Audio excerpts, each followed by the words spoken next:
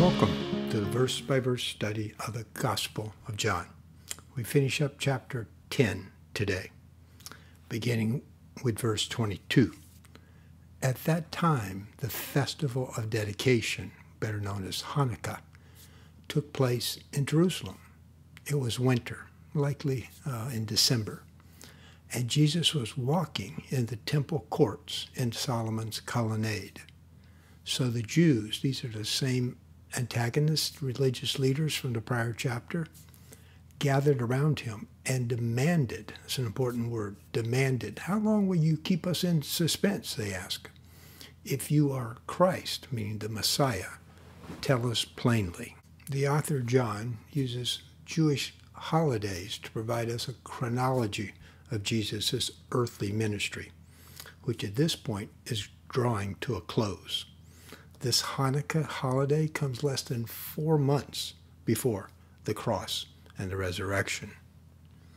The next time Jesus visits Jerusalem, he will be riding a donkey during Passover holiday, and that begins in chapter 12. The final nine chapters of this book will be dedicated and detailed account of Jesus' final days, called the Holy or, or the Passion Week. At this point in the chronology, he has returned to Jerusalem despite the risk and the contempt from these powerful Jewish leaders. Again, he's following the, his father's agenda to preach the good news. So, what is the agenda of these religious leaders? They want Jesus dead because he has rightly, publicly called them out as thieves and false shepherds of the people. He says they're blinded by their own agenda, which is to keep their power, profits, and pride.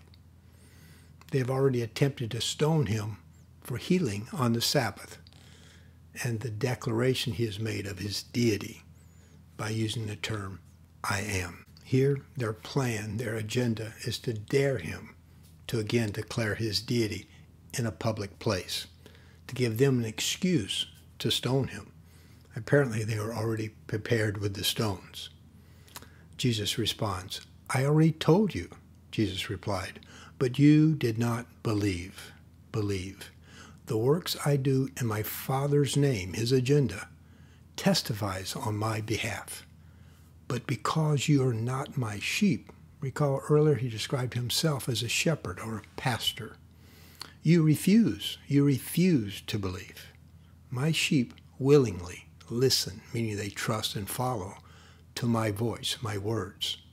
I know them, each by name, and they follow. They follow me in faith. Sadly, these men's mind and hard heart are closed. They have no desire to follow anyone but their own agenda. Jesus now adds a clear declaration of his deity, just what they ask for. I give them, meaning those that follow me, eternal life, and they will never perish. No one can snatch them, my followers, out of my hand.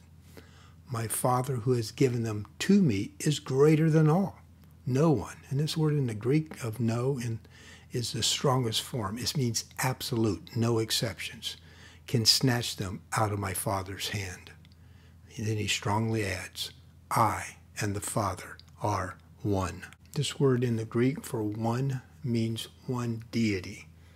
It does not mean one person, but rather one in the same essence, the same DNA, the same attributes, the same mindset, the same agenda.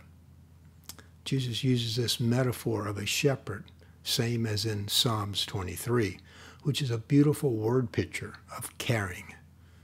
The Pharisees understood this reference that reference that promised those that put their faith in the God the shepherd would be restored, protected, secure, and lead to blessings. Fully saved unto eternal life, dwelling with God, God's care, and his home forever. Paul said in Ephesians, only through God's grace, only through Christ Jesus, his grace, are we saved.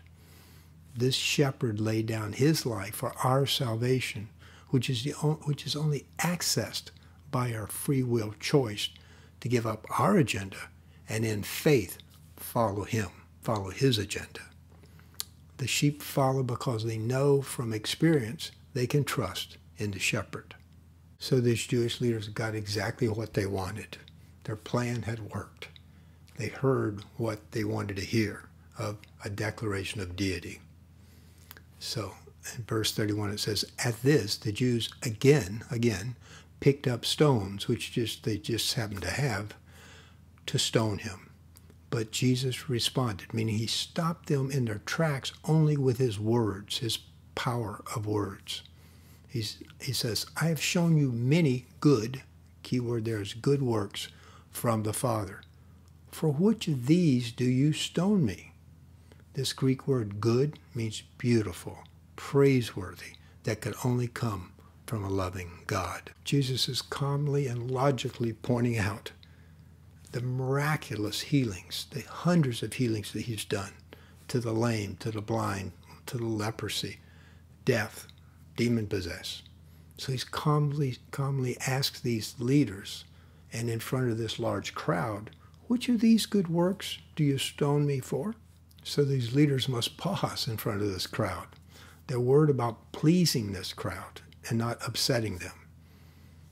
And they say, We're not stoning you for any of these for any good works, said the Jews, but for blasphemy, because you, who are a man, a man, declared yourself to be a God, declared yourself to be God. So you use that term, G-O-D. Again, Jesus will calmly, logically, and biblically provide them insights in an attempt to teach the crowd and to teach these men about this word, God. Jesus replied, is it not written in your law, meaning Scripture, where Father God said, I have said you are gods, meaning small g, if he called them, meaning mere humans, gods, to whom the word of God came, and the scripture cannot be broken, meaning the scripture is always truth, then what about the one, meaning himself? What about the one whom the Father sanctified, meaning he assigned, he called, he consecrated?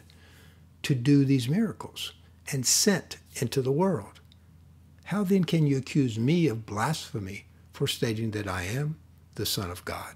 Jesus is pointing out that Father God himself used this term God to describe those that he sent, those that are assigned responsibility.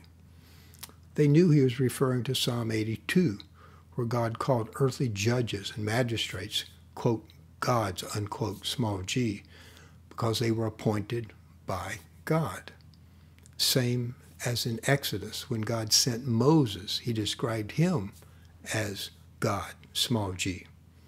Now Jesus continues, If I am not doing the works of my Father who sent me, who authorized me, who sanctified me, then okay, you have a right. Do not believe me. But if I am doing them, if I'm doing the work of God, as was previously testified to them by both the blind man and Nicodemus.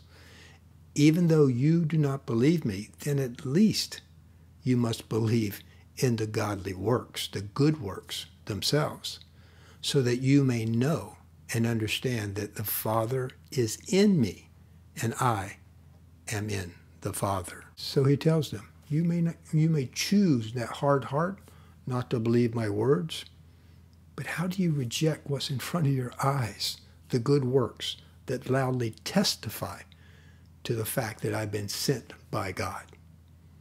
Recall back in chapter 3, one of their own members of the Sanhedrin, a Pharisee, Nicodemus, said rightly to Jesus, Rabbi, we know, we meaning the Sanhedrin, know that you are a teacher who has come from God for no one could perform the signs you are doing if God were not with him. But within these men's hearts, there was so much hatred. And that focus, that burning desire on their own agenda, blinded them, which can happen to any of us. They were deaf and blind to the voice of God.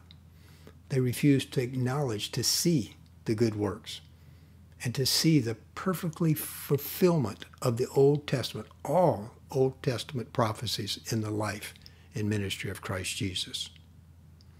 At this, meaning they gave up the idea of stoning him in front of this crowd. Instead, they tried again to seize him, to arrest him, but he escaped their grasp.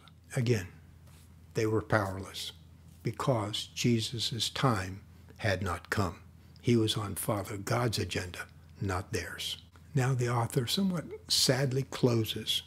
Then Jesus went back across the Jordan, meaning he walks that 30 miles in winter back to, into the countryside, to the eastern side of the Jordan River, to the place where, where it all had begun. John had first baptized him, and he stayed there. He stayed there for almost three months. Many came to him, so there's some good news. Many came to him and said, although John never performed a sign, meaning miracles, everything he said about this man, John was that last prophet and foretold that Christ Jesus would take away the sins of the world, was true.